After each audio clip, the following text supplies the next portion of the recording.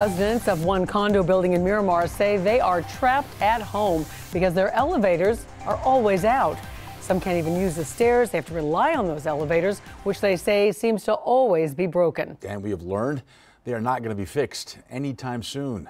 Local 10 investigator Alex Finnie live with more on this. Alex, what a frustrating situation for those residents.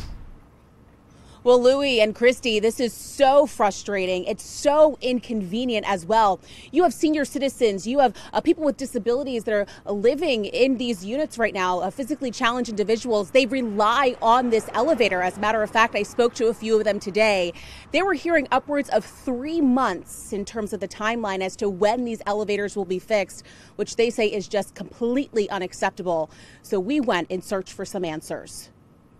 Here are photos of tenants trying to figure out what to do now. The elevators are broken again. The elevator at this moment, the lack of it is, is making it very difficult. This is Alex Delgado. His mobility is impaired and he relies solely on crutches.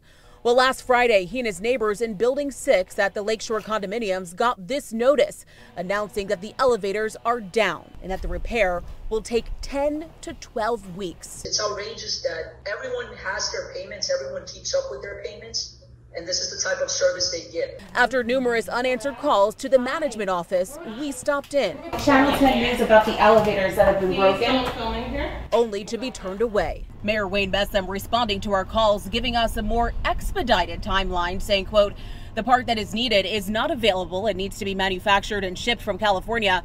They're estimating four to five weeks for delivery and completion of the job.